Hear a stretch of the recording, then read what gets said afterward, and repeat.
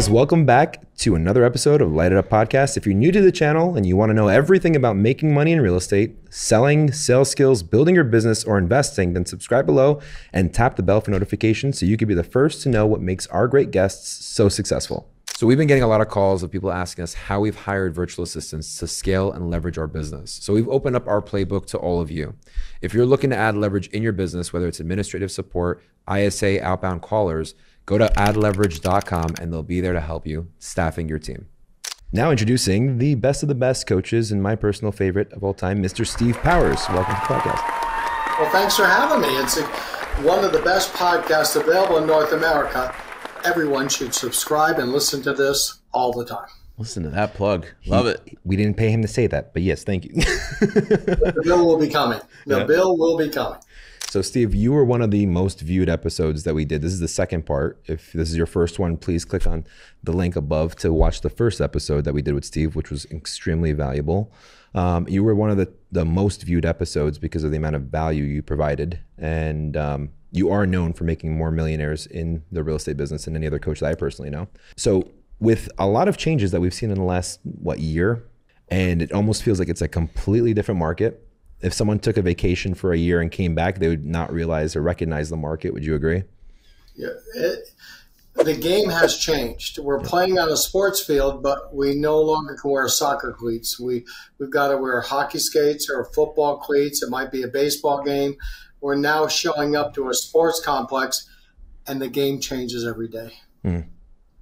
So I guess the question that everybody wants to know is how do you stay ahead of these changes, and how do you still not have to change your lifestyle, how do you thrive instead of just surviving in this industry? Well, let's talk about that. First of all, what right do you have to believe that you can live with all these changes and not have your life affected? I mean, think about this, guys. The game has changed in the NCAA. A couple years ago, they did the NIL, where college players can now be paid and do transfer protocols the entire coaching system had to adapt to a player who could then go from your facility for four years, who could leave you and go to another team because of money.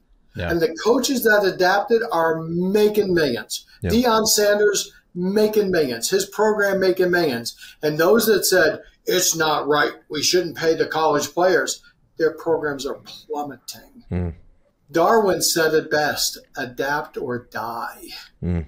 Do you There's see this? no middle ground. Is this any different than you know the adapting we had to do during COVID? No, no different, John. You hit it perfectly. Those agents that said, "Okay, whether I believe in COVID or not, not important. If I think this is real or not real, not important. These are the rules. Mm, right. Wear a mask. I've got to sterilize everything, six feet apart." And the agents who embraced it killed. Yeah. And those that went, "This isn't right. I shouldn't have to do this," they died. Yeah, yeah, it's true. It's adapt or die. And I use a four letter word, and it's not the one that starts with an F. It starts with a W. W O R K. Hmm. All you have to do is work. Right. You'll be you'll make a lot of money right now. There's so much abundance out there right now. Yeah, that's so true. It's the mindset about it because when COVID first happened, I was freaking out, and John was like, "This is no big deal," and then I was my business was going weird, and John was just like, "It was it was the mindset." Yeah, I think you just have to sort of I mean, well, I, remember this saying, guys, and I've said it so many times, I believe I own it, but I know I didn't say it originally. There's always cash in chaos. Mm, it's true. Rothschild said it when there's blood in the streets, buy real estate. Mm. Because when people are a little concerned about the economy, their money, etc., they cocoon, they, they shelter. And real estate is what we sell, so we sell them shelter. Yeah. There's abundance beyond belief since September of 24 all the way through the rest of this year, if you're willing to adapt and work. I'm, I'm very grateful for you for teaching me and like just going through this from the beginning is like we're always listing focused, never buyer side focused. So it's like you gave a scenario, Steve, earlier today where it's like if you were a buyer and you're in front of a house and you want to see the house, you call in, you're like, hey, I want to see it. And they legally have to make you sign a buyer agency agreement and they're asking you for 3% out of an $800,000 purchase, they don't know you from Adam and you're asking for 24,000 just to let them in the house, which is it's very unlikely you're going to get that signed. Well, yeah, because prior to August 17th or whenever your current state adopted the, the changes, yeah. when a buyer said I wanted to see the house, we'd look at the co-broke. Oh, it's 2.5. I'm okay with that. Yeah. And we'd go show the house to the buyer, sign an agency disclosure so we covered ourselves, who we work for. And the seller was agreeing to pay us 2.5. Now, there's nothing in some cases. The agent is, well, the seller says depends on the contract. So now I got to meet the referred buyer. We're standing on the welcome mat before I punch the numbers in or put my phone onto the the uh, keypad. Oh, before I can let you in the house, I need you to hire me, and this is eight hundred thousand, and the commission is three percent. So you got to agree if the seller won't pay me, to pay me twenty four thousand to step inside the house. Yeah. Yeah, the game has changed. Yeah, especially in a business where a lot of those buyers, you know, a lot of times, let's be honest, the first time you're meeting the buyer is at the property, right? The way that a lot of people handle the business, right? Yeah. Like we've all been taught that you should have the buyer come to your office and sign an agreement before you go out and say, this is how I work. And, you know, if the seller's not willing to pay me, then I'm going to have to collect it from you. Of course, that's how we should Yeah. be handling that. Yeah. I've heard a lot of, you know, top buyers agents or agents that work with a lot of buyers say, you know what? Now the rule is just what I've been doing for the last five to 10 years anyway. Yeah. Right. Getting a buyer's agent agreement signed, you know, Anyway. is, is, is part of their practice. Yeah. Well, just to stay on this for just a wee bit more, as they would say, mm-hmm. we used to see does the buyer want to buy a home? Are they willing to buy a home this week? Mm-hmm. Are they able to write the contract that gets accepted? Because, like, when there's multiple offers, uh, they can't be asking for a home warranty and a 60 day delayed closing. So, are they mentally, physically, and monetarily able to write the contract? Does a bank believe in them enough to give them a pre approval letter? And now we have to add one thing to this. Do they have the monetary ability to pay me if the seller doesn't contribute part or all? Yeah. And I want you to think about this. If if the buyer's buying a 400 large home and they're going FHA and they're putting 3% down and they've saved for 2 years to get that $12,000 and they got another 5,000 for closing costs, then we say, well, additionally, we need another 12 for me. Mm-hmm. Yeah. I, I ain't got it. Yeah. So we better work that out when we take them out because if we take a buyer out, not knowing if we can get paid, our code of ethics says that we're going to be showing them the houses for free Yeah. Yeah. because we knew they couldn't pay us and we still moved forward. Yeah. Right. It, it's going to separate the people. That's going to cause some buyers to say, hey, if you're charging me 3%, I'm going to go see it with somebody else who's charging me less. Yeah. They do all the time. And and then what happens is they start submitting offers with that agent who's charging less, And they don't get the deal. and they don't get the deal accepted, and it's just an ongoing cir- circle. but the beauty is that's the chaos. And Steve, That's you the chaos. Yeah. And Yeah. you you were sharing something that I think is invaluable, especially early adopters I think will succeed utilizing this the three step strategy. Can you share that? Well, real quick, I think one point I want to just um, give Steve credit for this morning when we were doing our other um, our other mastermind. You had mentioned now more than ever, it's really important for buyers agents to you know give their value proposition, uh, and more specifically, maybe putting the uh, putting uh, a buyer's track record together. You know, us as listing agents, we've always talked about putting together a track record of the homes that you've sold and the days on market and, and sale price to list price. Yeah. But I think now more than ever, it's really important for a lot of these buyers agents, especially if you work with a lot of buyers, you know, specifically or exclusively, to put together a track record. Like, hey, these are the last five homes, or these are the last ten homes. And again, if if, if you're not uh, doing it exclusively, you can use your team's track record. Yep. Here was the days on market. Here's how many offers they got, and hours got accepted. Uh, and these are all the ones I've gotten accepted. So just another thing I'd throw out there for people who are, you know, trying to find a way to make their buyer's offer stand out. Yeah. Yeah, John, you hit it perfectly. The buyer agents who now, as of today, treat this like a profession, like a career, are going to have to prove their value and they're going to make a ton of money. And those that still treat it like a job, that show up to a house on Saturday afternoon with wet hair and they got their kid because they were just driving anyway, I was going to let you in the house, they're going to be working for 1%. No. I Yeah. work with a wonderful company who's working on a policy saying that this is the minimum the company will accept. So if you work for less than the 3%, we're still going to get our 1% Mm. because the company can't take all the liability, do all the work for a closing, only to get 1%. You'll transaction yourself right out of business. It's true. Yeah. So it's going to be a huge separator between those that are good at this job and can show value and those that are real estate agents Yeah. who can't and they'll work for peanuts. And there'll always be those. There are people who shop at the Dollar General who buy Supperware because Tupperware costs four times as much. Hmm. But if I could sit down with them for one night and say, microwave your Tupperware, microwave your Tupperware, let me show you. I've had the same Tupperware for 18 years. I paid $9 for this bowl. It lasted 18. You'll be buying those $2 bowls every month for the rest of your life. But there are people who shop at Dollar General. You can't fix them. Yeah. It's Yeah. value versus That's not cost. who I want to work with. Yeah, that's golden. Can we shift to listings? Because listings are where the money is, right? Let's do it. With the NAR changes, the sellers are no longer going to be paying through the listing agent the buyer agent fee, which creates a whole new sets of challenges. Mm-hmm. Again, to cover my butt, commissions are negotiable. Let's just pretend we're charging 6% today, and you can charge whatever you want out there. It wasn't uncommon someone would charge 6%, give away two, keep four. Yep. And then when the seller would argue they want to drop, drop it down to five, well, okay, I charge five, keep three, give away two, still making 3 Mhm. But we no longer have the 654 debate. It is quite clear now to the seller they don't need to pay a buyer agent fee. That part is off. Gone are the days when the seller says, Kiro, John, why 6%? Oh, Mr. Seller, I don't get the whole 6%. I give almost half of it away. Mm-hmm. Okay. Problem goes away. Yeah. Now it's you guys want three percent. Bob Smith said he would charge two.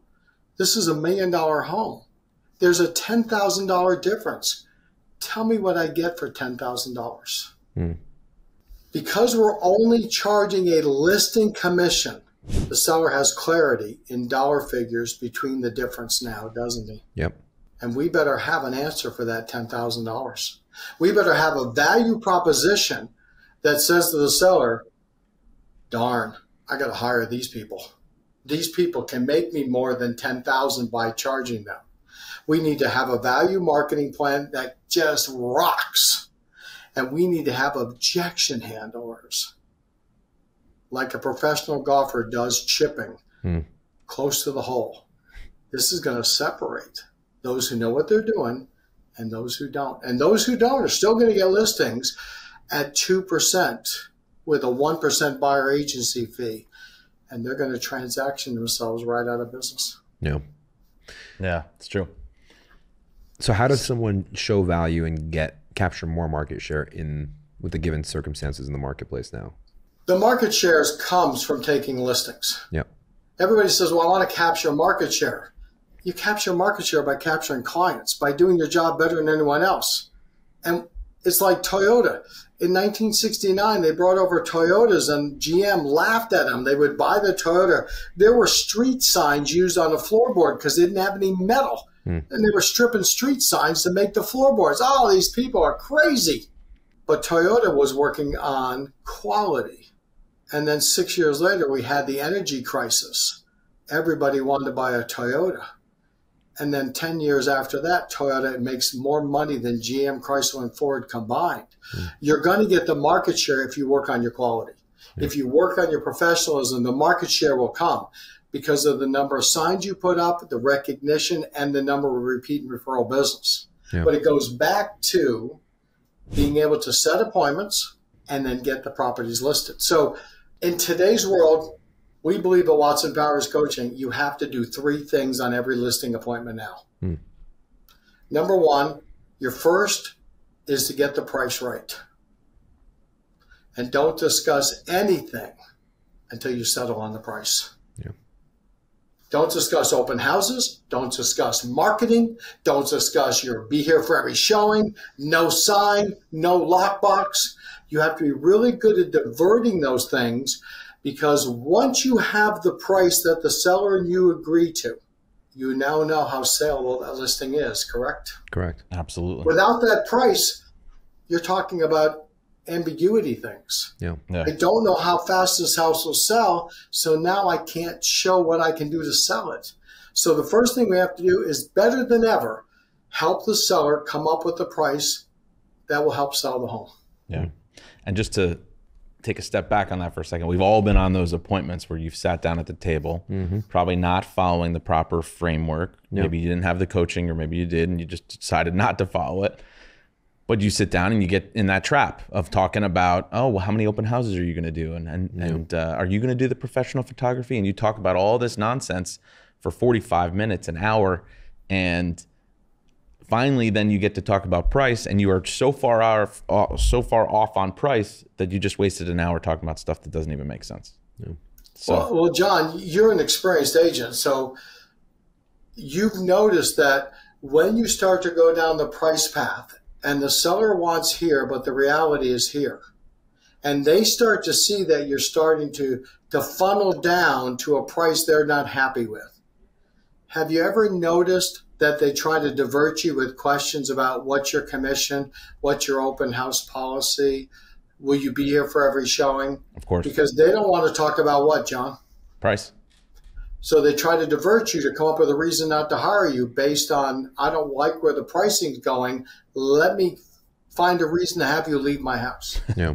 let me poke holes in something else Yeah. Yeah. And you can tell because they lean back, cross their arms, Yeah. sometimes fall out of their chair. You know they don't like the price. Yeah. So, John, what do you do when a seller says, Well, hold on on the price? John, what do you think about open houses? You know great question uh, uh, what's what's your opinion of open houses Oh, we love them. We bought this house from an open house. We sold our last house from an open house. My mother demanded her agent hold the open house. House sold in a day. wow okay great so you've had a lot of great experiences with open houses sounds like uh, we'll put a note here to, to discuss open houses now steve let's go back to the price here are we on the same page about price There you go. Did you see that, guys? Why this is the greatest podcast ever. Most of the time, real estate podcasts that you go on, the people aren't active. So they don't really know what they're doing. They're not in the game. So good job. See, the idea is that the seller is going to try to divert you about anything but the price. So the first thing we have to get great at, because good is no longer good enough, mm-hmm. is helping the seller come to the agreement where the most a buyer would pay for the home is. And once we agree on that, then our second job is to get hired at a marketing listing commission that makes sense for a profit. Which means we can't have a marketing plan that talks about things that don't show a lot of value. But three months ago, they did. Mhm. I'm going to put a sign in your yard. We're going to have a wonderful lockbox access. Three months ago, that was great value. But the seller now sees 2% of a million, 3%. Where's my 10 grand? Mhm. Putting a sign in my yard, I don't see 10 grand. I'm getting a sign with the other person. You're going to put a lockbox. Everybody has a lockbox. Where's my 10 grand? Yeah. yeah So we better start taking some of the things for granted that we used to do and be Ritz Carlton about them. Our photographers better be the best. Our drone flyovers for the appropriate house better be with people who know how to fly a drone, not your kid who has a drone. Hmm. Your stager, if you're using a stager, better be the best stager out there. Why? Because when I'm selling a Ferrari, I don't get it detailed by a car wash next to an Exxon station. Yeah. right Everything has to be level five on what you provide if you want a full commission. Yeah. So the first thing we have to do is we got to get really good at helping the seller come to agreement on price. And once they agree on price, we know how much, how fast, yeah? How much the house will sell for, how fast it'll sell. Yep. Then we have to be really good at explaining why pay us this much more than our competition, why Supperware is not as good as Tupperware, Yeah. why you need to shop at Nordstrom's, not the Dollar General for your next suit. Yeah. right Because from 100 yards, they look the same. A Hyundai and a Mercedes from 100 yards look equal. But when you drive them, they're totally different. Yeah. Yeah. And then the third part is after you get the price, after you get hired at the listing commission you're happy with, the third part is to then discuss if the seller wants to contribute towards the buyer agency fee. Mm. And sometimes they don't want to, right, guys? That's right. Yep. And it's okay because legally they don't have to, do they? Nope. But if I have a property that's priced here and it should be here, and I have a commission that's here and it should be here, well, the only way the thing is going to be sellable if if the seller is willing to contribute. Yep. But if he's not willing or she's not willing to contribute, then why would I take the listing? Yeah. Right. However, if the seller is willing to price it here and it's here, and my commission is right where I need to be, and I know this thing is going to sell in 10, 14 days, I don't care if they give money away or not. Yeah. I'm not going to fight the seller over a buyer agency fee that may or may not be needed Yeah. because my competition is going to have the R badge. and they're going to go, well, as a realtor, I think it's fair for my fellow brethren that we give something away. I don't think it's fair how they changed everything.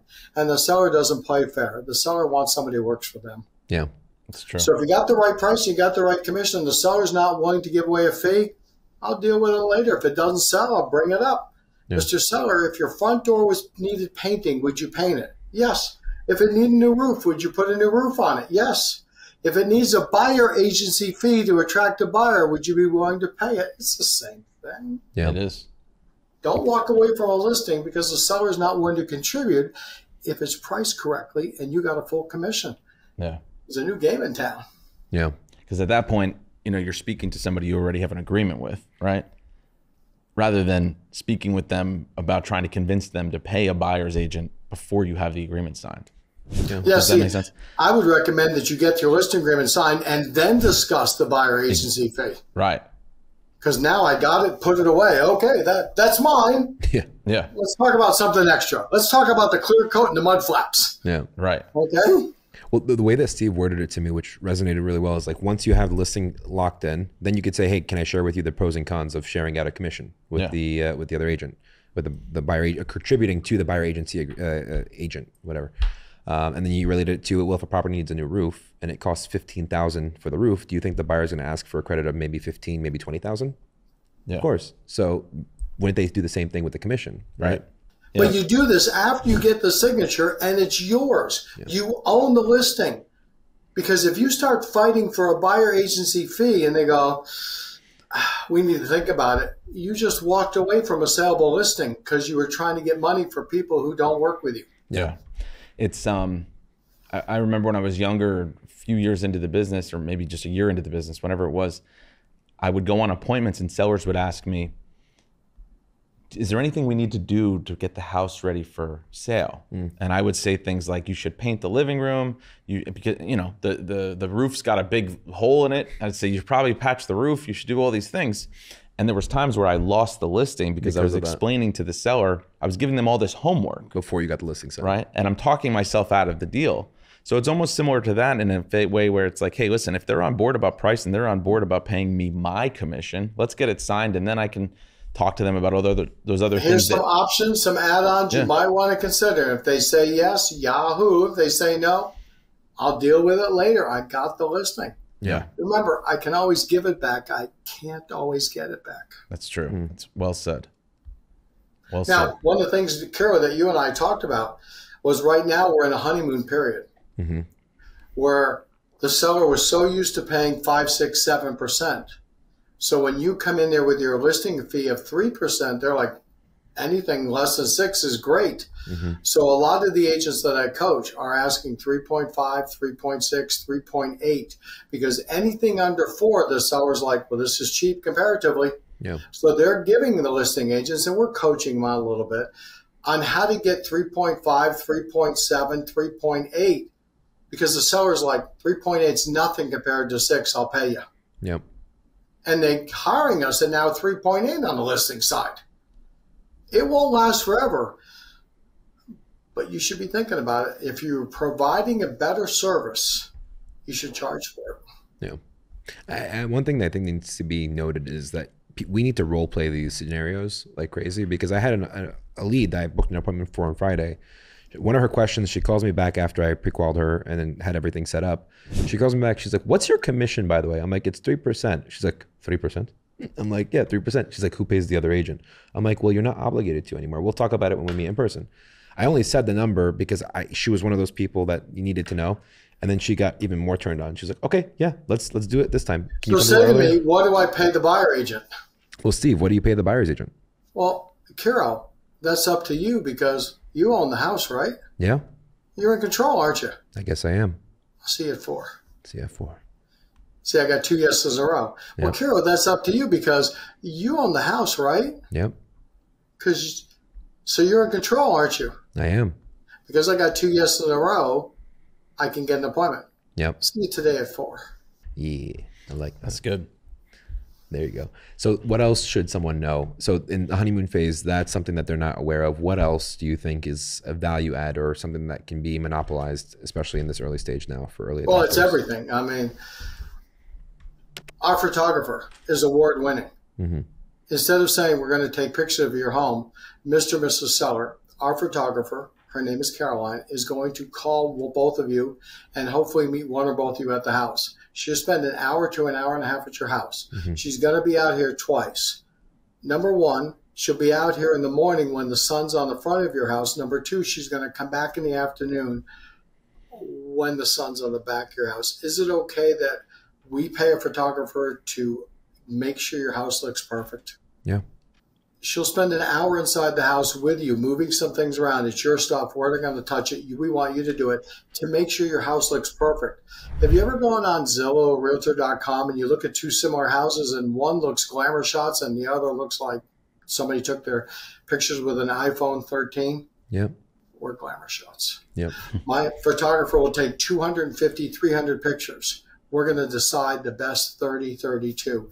We're going to make your house pop. Speaking of pop, John, are those pavers in your front driveway? They are. Cost me a Now, lot of money. did you money. put them in, or did you have them? Were they there when you bought them? Oh, I put them in. Smart. Now, I'm not aware of too much, but I believe they don't give pavers away. Fair statement. That's that's true. Yeah, they were expensive. You ever notice how pretty they are when it rains? I have noticed that actually. Because the water gets absorbed and the true color comes out. That's what you paid for, yes? That's right. This is why people like you hire me, John. Our photographer gives a gets a hose provided by me. I pay for this. They're going to wet down your pavers before they take the pictures because we want your pavers to pop. Yeah. Yeah. John Kiro, have you guys ever seen those HGTV pictures, uh, shows, DIY shows? Mm-hmm. Yeah, And they show the deck before and they show it after. of course. Have you ever noticed the after pictures are always wet? Mm-hmm. We're going to pay our photographer to make everything wet. Mm. Those little bubbles of water are going to make your house stand out. Yeah. Is it okay with you when you hire me that we do this to the nth degree to the photographer level? Yeah. Yeah. Can you imagine what we do on every other level? It's I can do this for an hour. Yeah. Do you believe I can sell your home and not leaving anything on the table? Yeah. it's interesting. There's there's a lot that we do. Like some people might hear you say that, Steve, and say, "Oh wow, you, you know, he's just uh, embellishing it." But there's a lot that we do at a very high degree already, Yeah. but we don't give ourselves credit for it. Yeah. Like Right. the CO process in New Jersey. Like the CO process, the fact that we handle the smoke and the CO for the seller. Um, you know, especially if you find out that that's like they, they don't live in the area and that's something that would be of benefit to them. Um, but even things outliers. like, um, you know, uh, just whatever it is, like like we put booties at all of our listings, right, so that people aren't you know traipsing traiping through the house in their dirty Well, there shoes. you go. Are these these beautiful hardwood floors? When did you guys have them finished? Uh, last year, Did they give that away? no, it was expensive. One of the reasons that wonderful people like you hire me is we protect your hardwood floors. So if it's okay with you, at my expense, we're going to have a booty machine where every agent, every buyer will step in. There's a cool little vacuum thing goes, and it puts a protection on their boots Yep. so that your floors are saved from the traffic. More importantly, your buyer, knowing that you care that much, are they going to probably pay you a little more? It's mm-hmm. true. Yeah. Isn't that why you hire me? Yep. Yeah. Any other questions? What I'm saying though is people do that stuff already. They just don't explain it to the seller because to them everybody normal. does it or it's human. You know, it's it's just part of the process. We don't do it. We don't give ourselves enough credit to say, you know, I am spending more. I, I could pay a photographer twenty five dollars, but I'm paying the photographer two hundred and fifty because he's a lot better. Yeah. So give yourself credit for the things that you're you're already doing. You just have to find a way to show show the the value. And you got to sell it, John. Yeah, you gotta sell gotta it. Sex those booties up. you just can't say we're going to put a booty machine so your floors are protected. Yeah. Okay. These are not the booties from Dollar General. These are the booties. No, these aren't Tupperware booty generals. Okay, but you you've got to take what you're selling and sell the heck out of it. Yeah. Because again, when you're charging 3.5 percent on a million dollar house, the sellers can do the math. Yeah. That's 35,000 large. Yeah. And when somebody's charging 2%, that's 20. Yep. Where's the 15,000? Yep. Yeah. And I've got to have, as you said earlier, John, the MLS statistics to show my value. Yep. Now, here's the key, guys. And I'm giving a coaching point away, but it's okay. You have to, to ask the question, Kiro, John, if I can prove to you now, give you the evidence you need, 100% convince you, by paying the 3.5% commission, you'll actually net more than you would by charging two. If I can prove that to you right now, will you hire me today?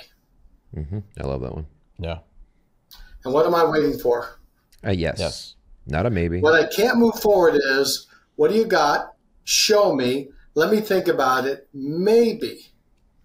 Because none of those is a yes.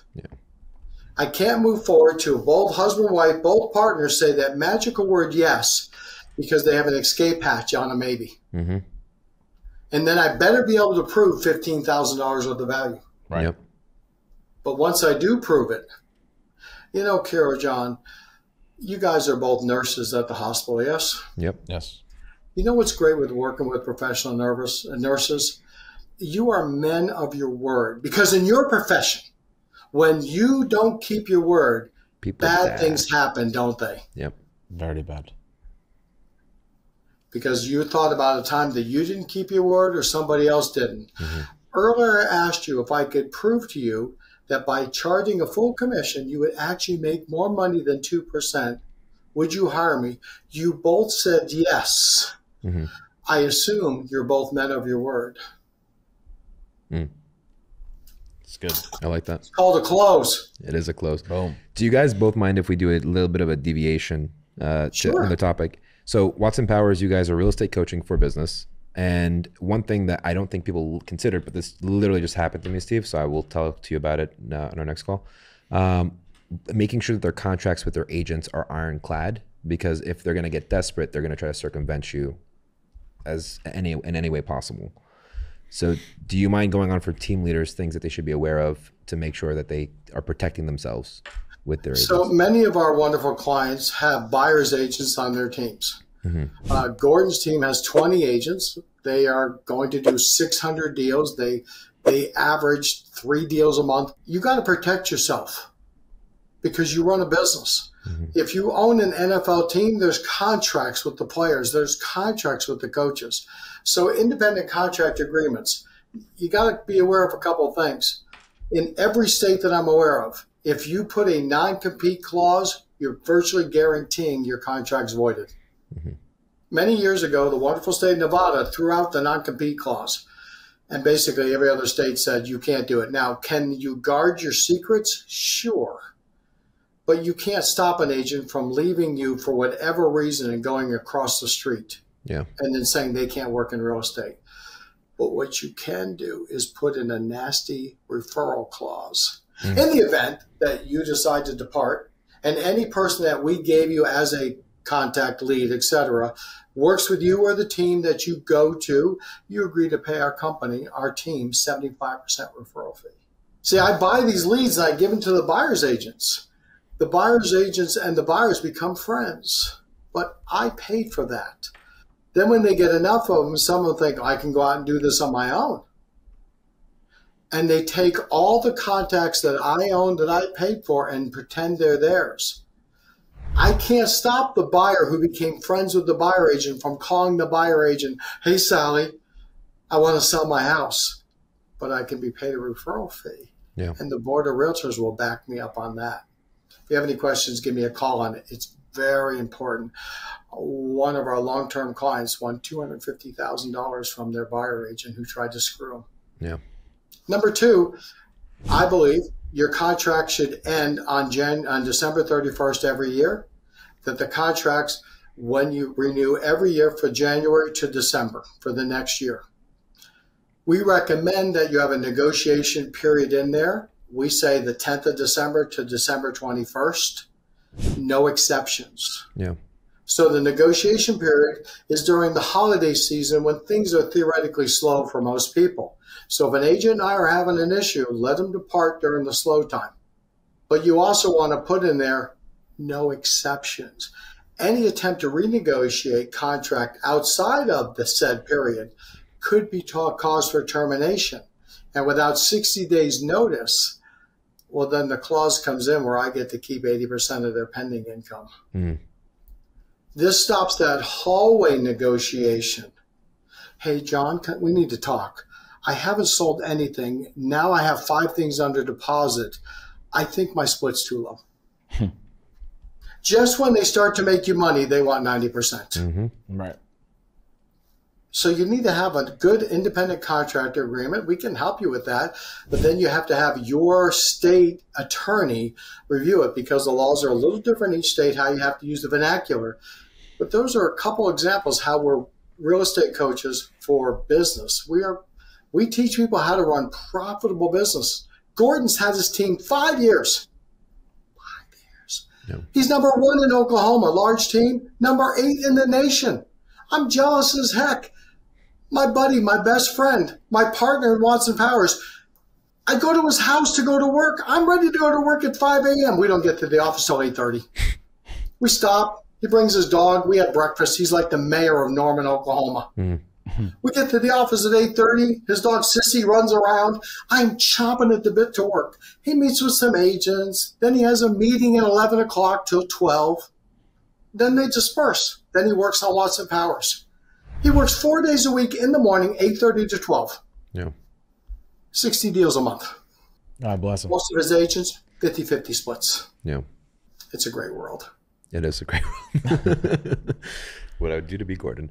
Yeah, no, that's that's extremely valuable, especially with when times get tough. People act crazy, and especially if they're trying to bypass certain things. So making sure you're protecting your butt is super. I was calling John and Bentington earlier about it. I was like, this is ridiculous. Like I should have had it in writing, but I had it recorded, so I didn't think it was that big of a deal. Blah blah blah blah. Um, but you have to like literally, you could trust, but you have to verify and verify in writing. Yeah.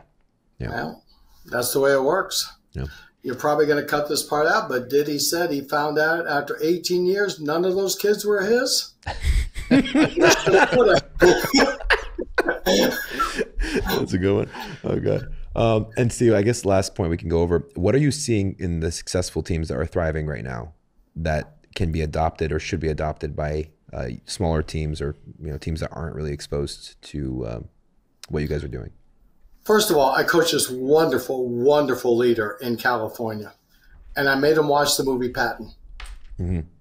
General Patton was a general in World War II, and General Patton was known to be a bit of a confident guy. And one of the reporters said to him, Well, General, do you think the Nazis are going to hell? And he said, well, That's not my decision. That's the decision of the Almighty. Uh, my job is to arrange the meeting. Somebody said, General, why do you never retreat? And he said, I don't like to pay for the same ground twice. Mhm. I don't want to write a mother and tell her her son died recapturing land we already had. Also, it's really hard for the enemy to fire at you when they're running away. Mm. And people wanted to be in Patton's army more than anybody else. They worked harder. They covered more miles. They were tired dog ass. They, they just decimated the enemy. He covered more ground with human beings than anybody ever. And why did people want to be in Patton's platoon? Because everybody knew less people died in Patton's platoon than any other platoon. Mm. If you're a leader and you're strong and you're charismatic and you've got a system, the agents will flock to you because they want leadership. Hmm. They want someone who has a system, who's confident. The gentleman I'm talking about in, in Los Angeles, outside of Los Angeles, he is a confident, veneer teeth, beautiful human being. Mm-hmm. Just, he exudes confidence and he can sell anything. And he outworks every one of his agents. Mm. If you're a leader that you're not pulling that chain, if you think you can push it, you're dreaming. Yeah. You got to outwork your agents because all of them are scared right now. They don't know what to do. You got the answers. You just got to show them confidence. Yeah. Yeah. Love that. That's, that's what they're great. looking for. No, that's good. That's great. All right. Well, Steve, is what's the best way for someone to reach out to you if they want to connect, consult, see if they're a good fit? My phone number is 757 719 4329 or steve at watsonpowers.com or call Gordon or call Sydney, our wonderful, great coach. Call any of us. The great thing about Watson Powers is you can have whatever coach you want. We're here to help you. It's a partnership. Yeah. And I, I can I can vouch for that. Steve complains I don't call him enough. So I, I, rare I, to hear a coach say that. Yeah, he's like, you don't call me enough. What, what's what's up with that? I'm like, I'm sorry, Steve. I, I save it for Wednesdays. well, well, like this call this Friday, and I've announced all my coaching clients. It's free coaching Friday. Yeah, I'll be working here at my lake house all day on my coaching material. We have a wonderful event in uh, in the end of September at the uh, Princess Scottsdale Summit, and I'll be working on that. So I tell everybody, I'm available for ten hours on Friday. Call me, and there's no mm-hmm. charge. We don't consider it a 30 minute call. Thank you for your money. I'll talk to you next week. We consider it a partnership. Yeah, awesome. I can vouch for that. That's awesome. Well, Steve, thank you so much for always being a pleasure. Thank you so much. Love having you on always.